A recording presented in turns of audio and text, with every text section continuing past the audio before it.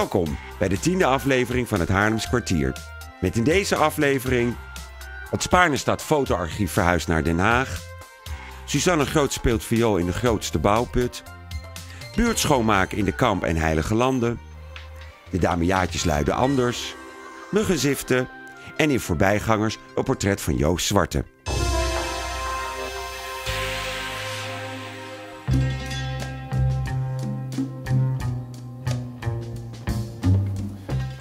Beroemde Spaarnestad fotoarchief gaat Haarlem verlaten en wordt ondergebracht bij het Nationaal Archief in Den Haag.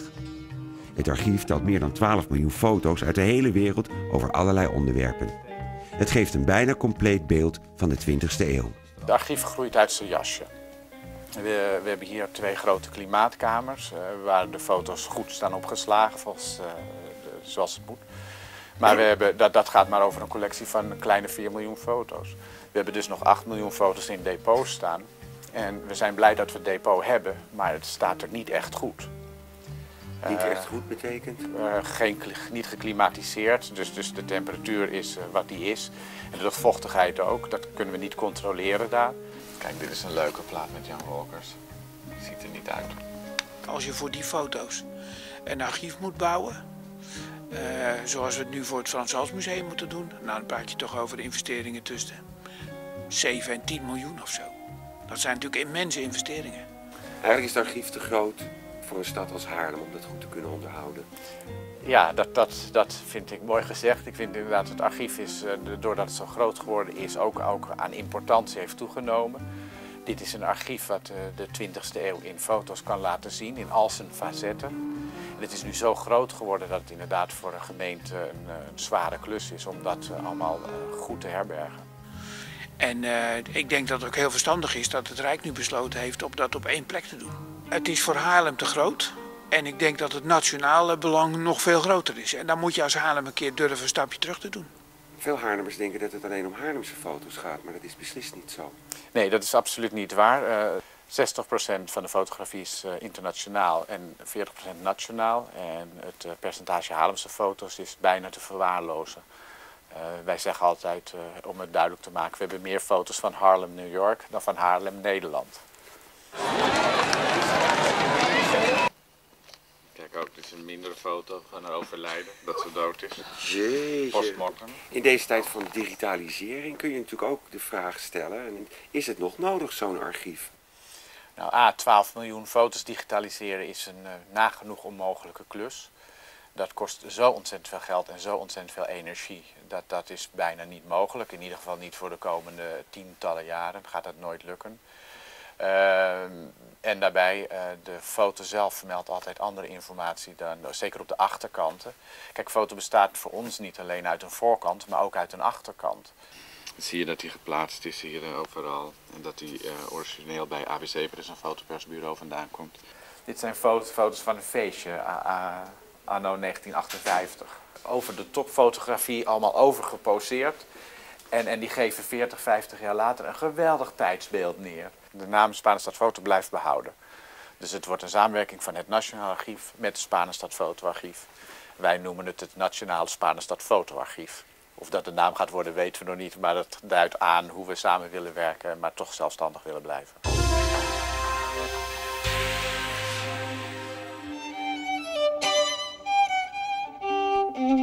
De Haarlemse violiste Suzanne Groot gaf in haar serie Muziek in Ontwikkeling een concert in de grootste bouwput van Haarlem, de Raaks.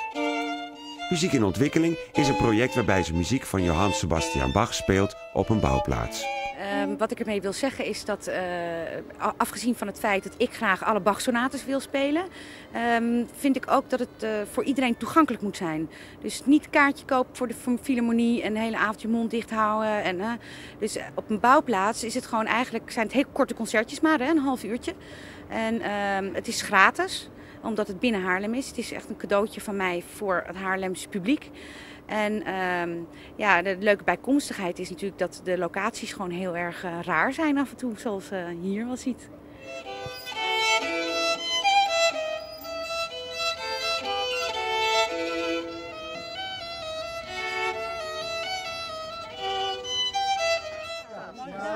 gedaan. Erg leuk. Hey. Hoe is het gegaan? Vader en dochter, moeder zie ik. Nou, ik geloof wel goed. Het was wel erg koud op een gegeven moment. En eh, maar het ging goed. Ja. Klinkt hier, klinkt hier heel goed. ja. Ho- Hoe vond u dat uw dochter speelde? Nou, ik vind dat ze altijd mooi speelt. Maar eh, onder de- deze omstandigheden met, het- met koude handen en zo'n grote kuil, dat is niet makkelijk hoor. Wat vond u van het eh, concert? Nou, we hebben heel erg genoten. Dus ik spreek van mezelf, ik heb wel genoten. Suzanne is eh, de juf van mijn dochter, de viooljuf. Dus eh, ik vond het extra bijzonder om het te horen. Eh Jacques van Rode, uitvoerder van het Raaksproject. Eh, wat vond je van dit concert? Nou, dat vond ik echt geweldig. Morgen hebben we een hele grote stort. 1200 kub gaan we de eerste deel van de, van de vloer gaan we storten, van de min 3. En als je dan dat contrast ziet, wat je nu gezien, gehoord hebt, ik vind het echt geweldig. Ik heb haar ook net een zoen gegeven. Ik vond het geweldig. Gewoon ontroerd ervan. Je hebt nu in de Raakse bouwput gespeeld. Hoe was dat voor je? Dit is eh, bijkans de grootste, de grootste locatie waar ik ooit heb ge- gespeeld en hoogstwaarschijnlijk ook zal spelen. Ook zal spelen. Ik ben op zoek, dus wat ik doe is met mijn fietsje door Haarlem gaan. En eh, ja, ik wil graag in de Drostenfabriek spelen. En eh, ja, ik moet nog eventjes goed rondkijken. We kunnen nog wat verwachten van je. Ja, het is nog niet helemaal af het dagboek. Mag ik even, ja, mag ik even, aan- mag ik even jullie aandacht? Allemaal? Ja. Oh nee. Eh, wij, eh, ik heb wat eh, projecten op het oog. En dat is het stukje bij, de, bij het Egalantierspark aan de richting van de Kleine Houtstraat. Dat is ontzettend smerig. Wat doe ik? En Bij, bij de poort daar. ja, bij de poort. 4 oktober gingen de handjes uit de mouwen tijdens de jaarlijkse buurtschoonmaak in de wijk De Heilige Landen in het centrum van onze stad. acht, negen jaar geleden. Toen eh, kwamen wij hier wonen en eh, op een gegeven moment eh, vond ik het zo smerig hier. Dat ik ben naar de wijkraad toegegaan en gevraagd of we misschien iets konden organiseren om met elkaar de buurt schoon te maken. In de eerste instantie waren er maar 10, 11 mensen die mee kwamen helpen. En nu zijn er tussen de 50 en 60, 70 mensen die eh, komen helpen. En na afloop hebben we een gezellige lunch in het eh, ABC.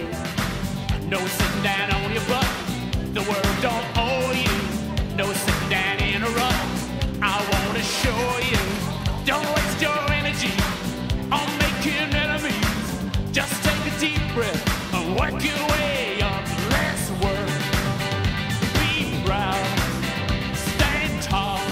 Waarom doe ik mee? Gewoon om de homogeniteit in de, in de wijk. Heel belangrijk. Loop ik door een andere wijk in, eh, in de stad en denk zo, we hebben wat gewonnen. We maken toch dit soort pleinen waar niemand wat aan doet. En zo zijn er een stuk of wat. En nou, die maken we schoon. Kijk, vroeger moest iedereen zijn stoep vegen. En dan was er niks. En nu lopen we altijd met de gemeente moeten doen. We gooien het allemaal zelf op de grond. Dus ik eh, vind het niet erg. Dat eh, vind ik leuk.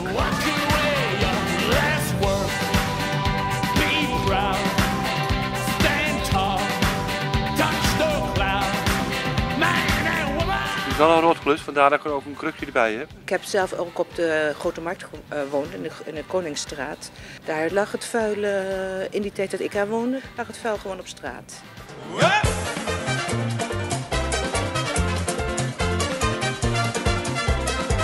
Na twee uur hard werken was het natuurlijk de hoogste tijd voor een smakelijke lunch in het ABC Architectuurcentrum.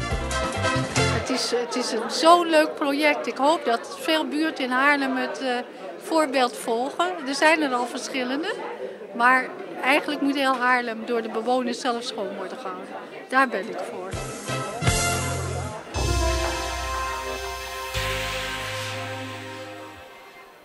Wie s'avonds rond de Bavelkerk op de Grote Markt vertoeft, wordt getrakteerd op het geluid van de damejaatjes. Twee klokjes met drie slagen en ze klinken als volgt. Alleen is er de laatste tijd wat raars mee aan de hand. De laatste slag die mist. De echo-slag. De echo-slag mist. En wat vindt, u, wat vindt u daarvan? Vind ik een beetje triest. Het moet weer gewoon in orde komen. Want vroeger klonken de damejaatjes namelijk zo. Ding, ding, ding. Ding, ding, ding. Ding, ding, ding. Nou, het is, het is gewoon verschrikkelijk. Het is echt verschrikkelijk. En wat moet eraan veranderen? Nou ja, de Tingel moet gewoon terug. In deze barre tijden met, met rookverbod, financiële crisis. Eh, laatst hoorde ik dat, dat, dat, dat eh, zelfs de boekdrukker dus niet heeft uitgevonden. Alles staat gewoon op het spel. Het, alles wordt gewoon verkwanseld. Het laatste stukje cultuurgoed, de Damiaatjes. Ik vind het gewoon verschrikkelijk. Ting, ting, ting. Ding, ding, ding. Al vanaf 1564 hangen de damiaatjes in de toren en herinnert ons aan de moedige rol die Haarlem speelde bij een kruistocht bij de havenstad Dumyat in Egypte. Ook was het getingel het signaal dat de stadspoorten werden gesloten voor de nacht. Maar genoeg geschiedenis voor nu. We gaan naar boven om uit te zoeken waar precies die klepel hangt. Dit is allemaal waar het om gaat. Dit zijn de damiaatjes. Nu weten we ook waar ze eindelijk hangen. Ze hangen dus onder de ui. En eh, naast elkaar er zitten ook drie klepels. Wat ook bewijst dat er drie tingels zouden moeten zijn. Het hamertje wat het op dit moment niet doet, is dit hamertje. Ziet u, hij doet het niet. Hij veert niet goed eh, eh, naar de klok toe. En daarom ontbreekt dus de derde tingel. Het Haarlems kwartier gaat zich hard maken voor herstel. Wordt vervolgd.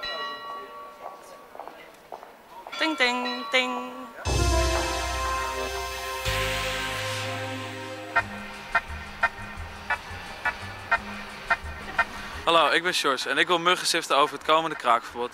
We staan hier aan het mooie Spaarne en achter mij ziet u eh, vier panden die wij drie weken terug gekraakt hebben.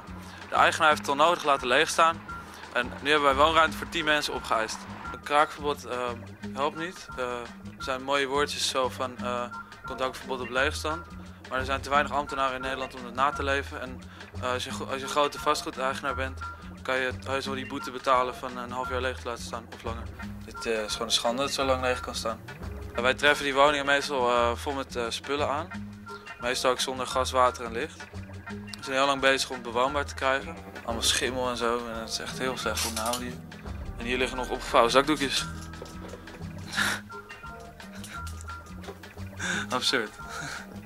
Ik wil graag iedereen oproepen die voor het kraakverbod stemt om dat zeker niet te doen. Het lost niks op. Ik zit hier niet voor mijn plezier. Ehm, ik heb eh, twee weken zonder water geleefd. Ik, ehm, ik doe het voor het idealisme. En niet eh, omdat ik een gratis woning wil. Als eh kraakverbod door zou gaan, zouden heel veel studenten op straat komen staan die zeker geen, geen woning kunnen betalen. En dat was het zo'n beetje.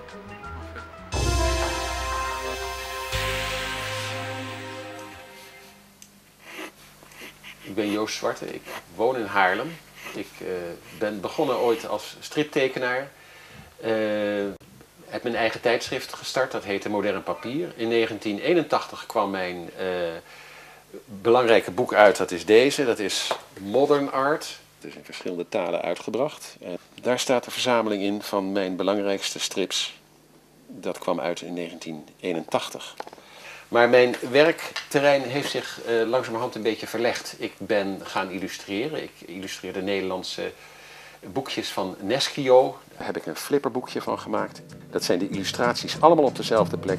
En als je ze nou, zoals een flipperboekje, door je vingers laat glijden, dan zie je die man een beweging maken. Ik hou heel erg veel van boeken. Ik heb een boekenkast vol en ik vind het ook heel inspirerend. Wanna be like you. Hop-de-ooby-doo. I wanna walk like you. Talk like you. Choo. Weeby-dee-bee-weeby-dee. Dit is Jopo de Poyo. Dat is mijn anti-held. Het is, een, eh, het is een figuur die ik heel veel in strips heb opgevoerd. Het is de bekendste stripfiguur van me. Hij is opgebouwd uit clichés. Hij draagt de golfbroek van Kuifje. Hij heeft het hoofd van Toki Tor. Zijn hoofd is eigenlijk een muzieknoot. Zo'n zwart bolletje met een stok daarop met een vlaggetje. Alleen heb ik die stok ertussen uitgehaald en heb het vlaggetje rechtstreeks op zijn hoofd gezet als een vetkuif. Ik eh, werk regelmatig voor het Amerikaanse tijdschrift The New Yorker. Eh, maar in Haarlem zullen de meeste mensen weten dat ik de ontwerper ben van de toneelschuur, die in samenwerking met Mecaner Architecten in het centrum van de stad staat. Eh, niet ver daar vandaan, in het stadhuis, ligt een enorm tapijt wat ik ontworpen heb. En bij de toneelschuur om de hoek is er een hofje gebouwd waar ik ook aan mee gewerkt heb. Eh, daar is een groot glas- en loodraam te zien, want ook glas en lood is een onderwerp eh, wat ik vaak onder handen heb. Ik ben niet in Haarlem geboren, maar wel in Heemstede. En Haarlem was toch de focus. Haarlem was het centrum waar het, waar het om. Mijn vader had een zaak in de Grote Houtstraat, op de hoek van de Hanegang. Een modezaak. Eh, mijn grootvader eh, was muzikant eh, en, en recensent voor het Haarlems Dagblad. Dus Haarlem was wel de stad. Ene moment sta je in een stedelijke omgeving en dan ga je een voordeur in. Moet je goed aan denken. Een voordeur met een ronde ring, een ijzeren ring. Die kan je openmaken, dus gewoon toegankelijk. En dan sta je ineens in een tuin midden in de stad. En dat is vreselijk verrassend.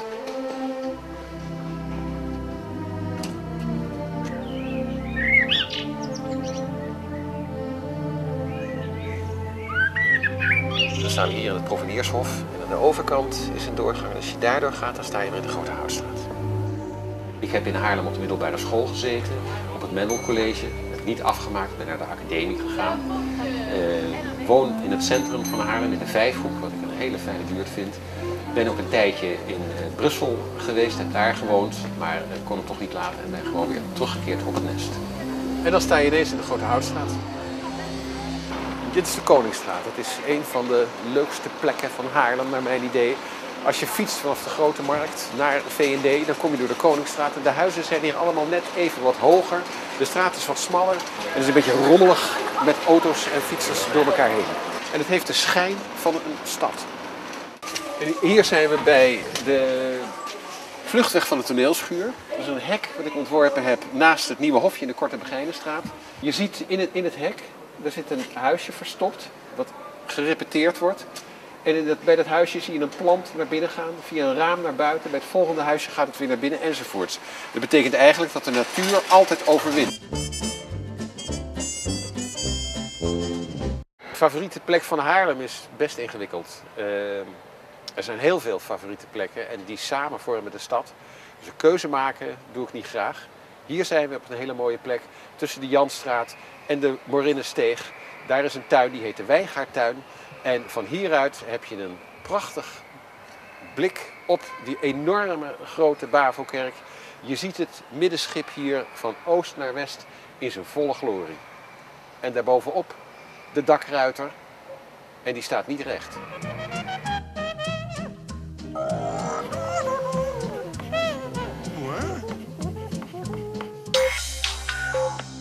Het Haarlems Kwartier, het enige televisieprogramma over Haarlem. Elk heel uur hier in het weekend op de kabel. Elk moment van de dag of nacht op haarlem105.nl.